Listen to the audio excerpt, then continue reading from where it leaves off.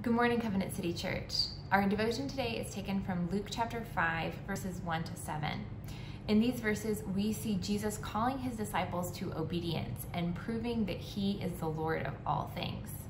Let's read the passage together. Luke 5, verses 1 to 7.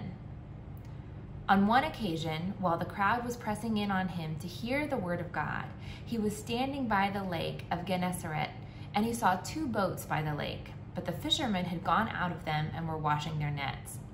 Getting into one of the boats, which was Simon's, he asked him to put out a little from the land. And he sat down and taught the people from the boat.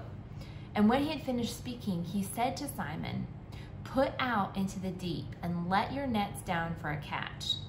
And Simon answered, Master, we toiled all night and took nothing, but at your word I will let down the nets.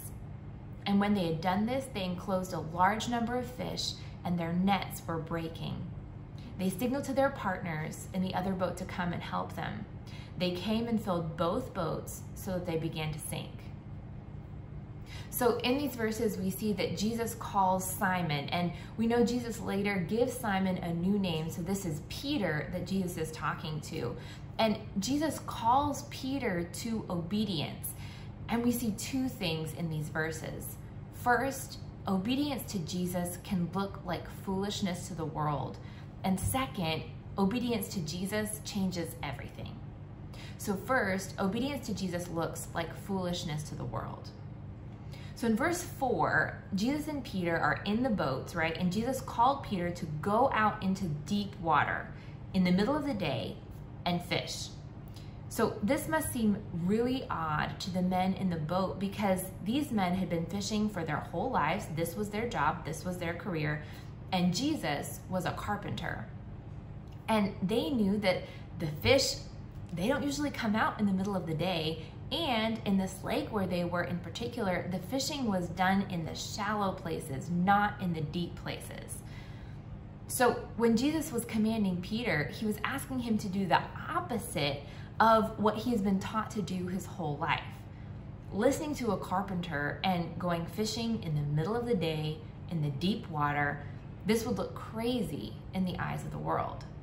So, how does Peter respond? Well, in verse 5, he says, Master, we toiled all night and we took nothing. So here, Peter is tired, right? He stayed up working all night. He has nothing to show for it he's honest with Jesus and he's telling him that he's tired and maybe feeling a little bit discouraged. But he knows who Jesus is. Although next week we're going to see that Peter's knowledge of Jesus is still incomplete, in these verses, Peter shows that he knows enough about Jesus to know that we should obey him. Right? He says, But at your word, I will let down the nets. Even though it seems crazy, even though it seems foolish, even though he's really tired, Peter will obey. And I wonder, where in our lives might Jesus be asking us to do something that seems foolish or crazy in the eyes of the world? Is there maybe something that's valuable in the eyes of God, but that might seem foolish to the people around us? When we chose, when we choose to prioritize the needs of someone else over ourselves, when we choose to say no to a promotion to spend more time with our family, when we choose to not have sex before marriage, when we choose to give generously instead of keeping all of our resources to, for ourselves. These are things that might seem foolish in the world, but are precious in the eyes of God. Because we know Jesus, we can see the bigger picture. This is not foolishness obeying Jesus is what gives us life. We live differently because we know him. And so in these verses, secondly, we see that obedience to Jesus changes everything. Right? Peter knew who Jesus was, he chose to obey, and everything changed. In verses 6 and 7, we see the disciples caught so many fish that the nets were breaking and their boats started to sink. This is an overwhelming amount of fish, right? They fished all night they had used all of their resources, their energy, their strategy, their expertise, and they came up with nothing. But at one word from Jesus, everything changed. So in these verses, Peter experienced the material blessing of fish, right? He actually did catch the fish. And this is definitely a great day for Peter and his friends, but this miracle is a picture of the catch of people that Jesus is going to bring into his kingdom. Looking at the overwhelming amount of fish that the disciples have caught is supposed to lead us into a feeling of awe and worship as we realize that Jesus has the power to change everything.